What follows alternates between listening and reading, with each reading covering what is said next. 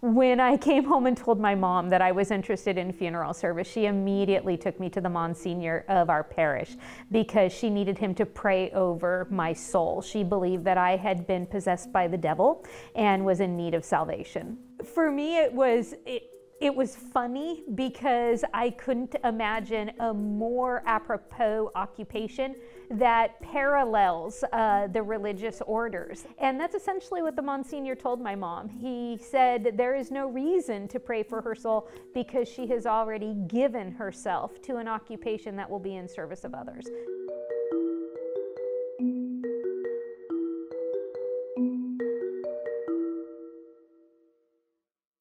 My name is Jolena Grande. I am a faculty member in the mortuary science program here at Cypress College.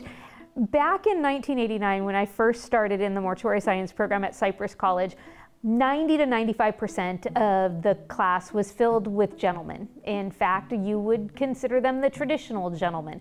They were young, they were white, they were well to do. I was one of four women in my class. Of course, that has markedly changed as uh, I just celebrate the graduating class of spring 2022 all of them were women, the majority of which were uh, women that would claim to be Latina or Hispanic or African American. Very different demographics. When people come to Cypress College and they look at the curriculum in mortuary science, they are most excited about restorative art and embalming. And they really do not come for funeral service administration or any of the classes I teach. They're excited about the things that you would expect them to be excited about. However, over time, they begin to appreciate how all of them are woven together. So right now we don't have any remains in-house, um, but this is our on-campus embalming lab. And when students are here during the semester, we have remains. Um, historically, we would embalm the remains of uh, the indigent from a local county. That, of course, um, uh, provides a multitude of experiences for students to see remains that are in varying states of decomposition, uh, from a number of different disease processes.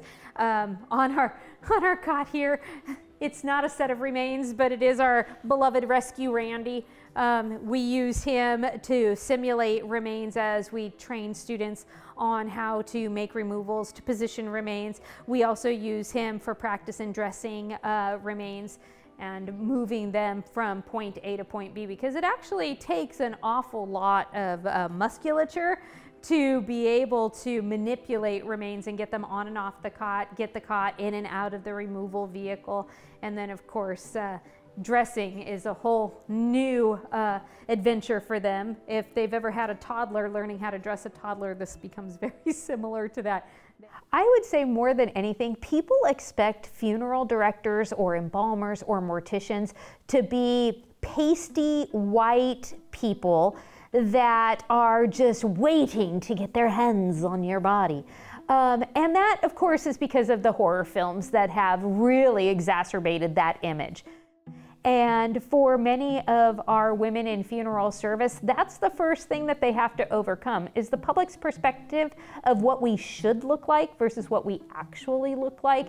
And then the second thing they have to overcome is the propensity for people to think that we don't belong. We're too young, we're too short, we're too frail. Uh, that's not true. That's not true for men or women.